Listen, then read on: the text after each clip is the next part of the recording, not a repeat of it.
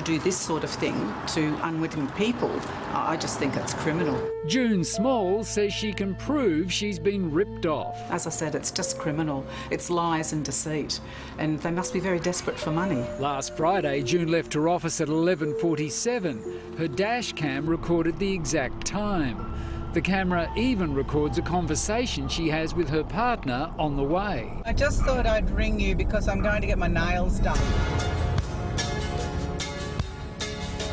Nine minutes later, at 11:58, June pulls into the car park. I went straight to the ticket machine, um, bought a ticket at 11.58 and that allows me two hours parking to 1.58. At 1:43, June gets back to her car, reactivating the dash cam, but she finds a nasty surprise. You pay for a ticket and then you get booked. There was um, a fine on my windscreen for $88. I went over to the employee uh, that works for the company and I asked her could she explain um, why I got a fine when I had an unexpired ticket.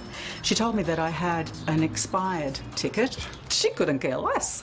She just stood there and blatantly lied to me. Couldn't care less. Not in the least bit concerned. June says the attendant told her it was because she had an expired ticket on her dash. But the fine was issued at 12.39, less than an hour after she arrived. And that's what I kept saying to her. But show me, show me where this expired ticket is. Oh, you would have destroyed it and put this one in its place. Come on, no, that's not that's not correct. Yeah, so I did call her a liar. How did she react? She didn't.